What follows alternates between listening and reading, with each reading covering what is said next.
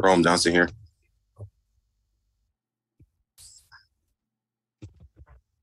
Mr. Ron Brown, this is your Ron- case? Ron Brown appearing on behalf of Mr. Johnson. I think this was nolle pros, Your Honor. Your Honor, I think the court should be in possession of uh of an order of nolle prosequi. uh, I- I. Yesterday. All right, this case is dismissed. That's without prejudice. Thank you. Thank you, Your Honor. Uh, I Thank just you, got a, Mr. Brown. I just got a question. How, like, is this, uh, is that would be immediately dismissed? Yes, sir. Okay, My right. name's on the paperwork, so if you're talking immediate, it just happened. okay, thank you. Thank you. Good one. Court calls the cases of the people versus Tierra Quinton, two cases. Good morning, Your Honor. Grace Burton appearing on behalf of the people. First Assistant Public Defender Clena Anderson with and on behalf of Ms. Quinton. Uh, Your Honor, we're appointed on the seven nine five. I did submit a request for public defender for the five seven, five six seven seven file. Yes, I do see that. So I'll just sign that. All right. That's an arraignment in that file. Quinton? Yes, Okay, state your name, please. Tiara Quinton. All right, Miss Quinton, you are before the court. Before I get to that, I do have to apprise you that you're before the court on the charge of. They give me the information? Probably not. Of course not. Oh, no, they tuck it in the back. No, they didn't. Oh, you're here before the court on the charge of possession of methamphetamine and or ecstasy. You understand that, ma'am? Yes, That's a ten-year felony or a felony punishable by up to ten years or fifteen thousand dollar fine plus court costs. You understand that? yes, All right. You wish to be represented by the public defender in that matter? yes, This is a public defender case. Thank you, Your Honor. First Assistant Public Defender Clena Anderson with and on behalf of Ms. Quinton. Your Honor, as to the complaint, we'd uh, stand mute and ask for a probable cause conference date. All right. Defendant having waived for further formal reading and standing mute, court will enter a not guilty plea. And along, you want this set with the other matter, is that correct? Yes, Your Honor, I was going to ask for an adjournment of the other PCC so that we can have both cases on one docket. All right, so the PCC, let's do this. Let's adjourn the PCC to the twenty-eighth, two thousand twenty-three, nine AM. Bond will continue on that matter. Back to the arraignment. Hope I'm not messing you up, Ann, I'm sorry. I'll set bond in that case at ten thousand dollar personal recognizance bond.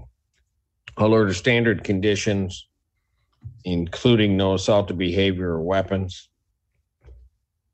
There's to be no possession or consumption of any alcohol, recreational marijuana, or any illegal drugs. I'm also going to order, can I see that file? What, what supervision was she under?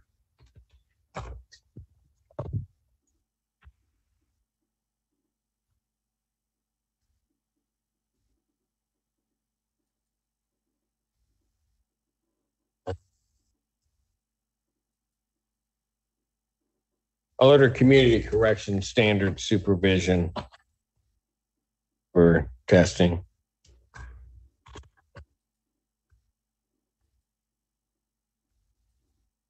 You got that? Yeah. Okay. And I'll set the probable cause conference in this matter for September twenty-eighth, two thousand twenty-three, nine AM, or as your Zoom invite indicates. All right? I think we got all that. Thank you, Your Honor. Thank you, Thank you, Judge. folks. last. Get to the jail. Yep. Court does call the case of the people versus Jason Garrett. Nicole Hughes on behalf of the people. Good afternoon, Your Honor. Excuse, oh, excuse me. Mo- Good morning, Your Honor. Marcia Creature on behalf of Jason Garrett, standing in for Mr. Robert Killaway. Mr. Garrett, can you state your name, please? Uh, I like to. All right. Okay, what are we doing? Your Honor, uh, Mr. Colwell is requesting an adjournment of this matter, given the fact that he was just appointed and he visited Mr. Garrett, I believe, last night in the Washtenaw County Jail, but he's, he's got some, um, items to talk over with Mr. Garrett. So I'll be asking for a three-week or two-week adjournment. Uh, objection, What's your objection, sir? uh. I won't be leaving this chair anytime soon, so therefore I think we should just. Do a breakout room with my attorney and continue this matter. Sir, Okay.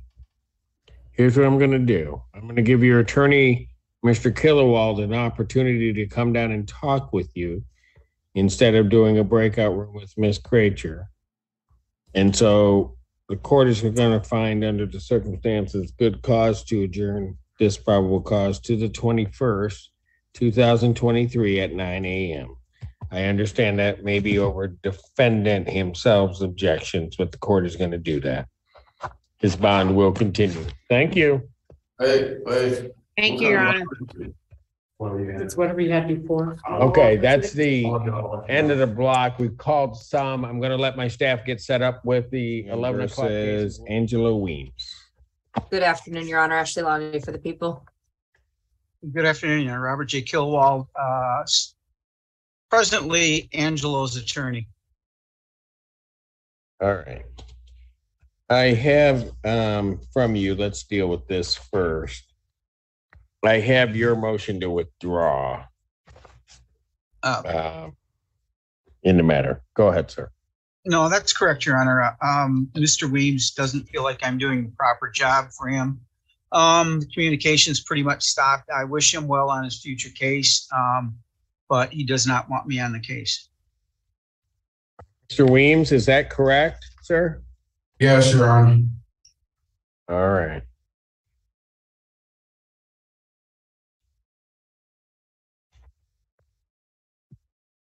All right, I will grant the motion to withdraw.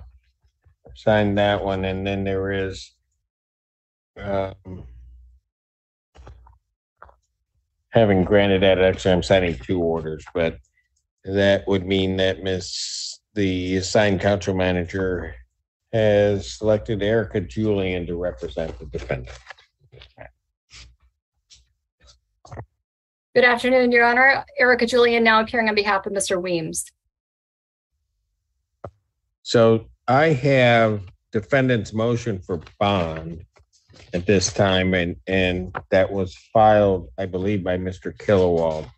Would you be prepared to go forth on that bond motion, or you want me to put this out so that you have time to prepare and talk to Mr. Weems? I would prefer the latter, Your Honor. Um, I did receive a preliminary police report, so I could at least briefly meet with Mr. Weems yesterday. And we were able to have that meeting, we did have a conductive, a conducive uh, meeting. We had a good report to begin with, and uh, but there's a great deal of discovery that I have yet to receive, and I think that that would be important to have before going forward with the bond motion. So I'd be asking uh, to put that off as well as an adjournment uh, for about a month, um, about four weeks out, just because I understand that there are about 85 videos uh, that I would need to download and review, as well as receive a medical examiner's report. Additional discovery from Mr. Kilowell. There's just a great deal going on. Any response on any of that from the people? Your Honor, it does seem to make sense that Ms. Julian would need some time to get caught up in the case. I will let Ms. Julian and the court know that the co-defendant, Ms. Williamson, is currently scheduled for preliminary examination on October the tenth before Judge Burke.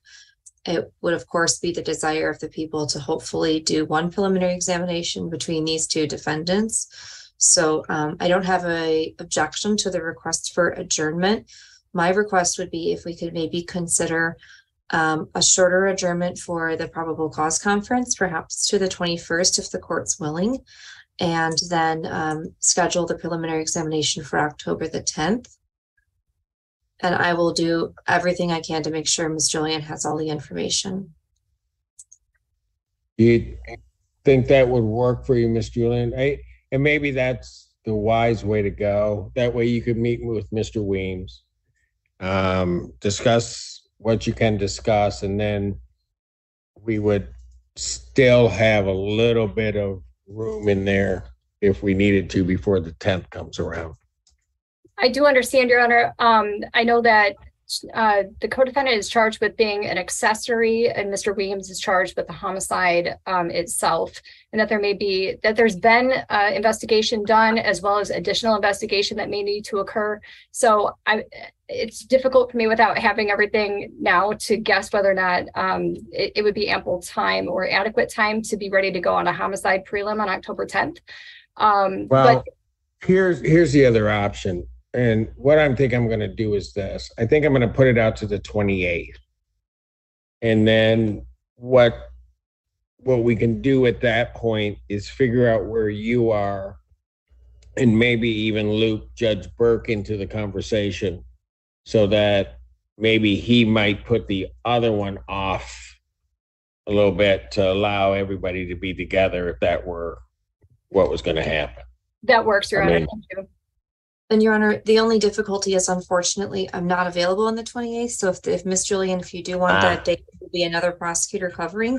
Otherwise, we could look at the fifth, knowing that the idea may be to go ahead and move to an exam five days after that. I just want to do the best to consider this. The court knows that this matter's been pending for some time. The people have Yes. never objected to an adjournment for, from the defense. Um, but unfortunately, with having the two folks going, we do sort of need to move this case along as well. All right. So let's do this. I'll adjourn the probable cause to the fifth of October. That's uh, actually that thirty day range you were looking for it anyway, Miss Julian, Yes, Your Honor. at nine. Um, well, yeah, the problem is you know, at this point, what I'm gonna do is I'm gonna with I'm gonna deny without prejudice the motion for bond. So that if you seek to raise it again, you may. Um, that way I can put it in the nine o'clock block and do it that way, okay? Yes, Your Honor. And then, um, then we can look at that and then we can always try to work with, um, Judge Burke to, just in terms of scheduling and time and, and the like. Okay? Yes, Your Honor. Thank you very much. Thank you. Um, I have the uh, lab report regarding the death and I have a, a pretty big thumb drive. I'll drop off your office tomorrow. That sounds great. Thank you, Mr. Killawell. Thanks. Okay, you got all that, Mr. Weems? Yes, sir. Yeah. All right. So this bond will continue as denied at this point. Thank you, folks. Thank you. Thank you, Your Honor.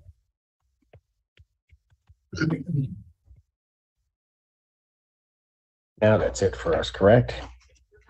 Fourteen A stands adjourned.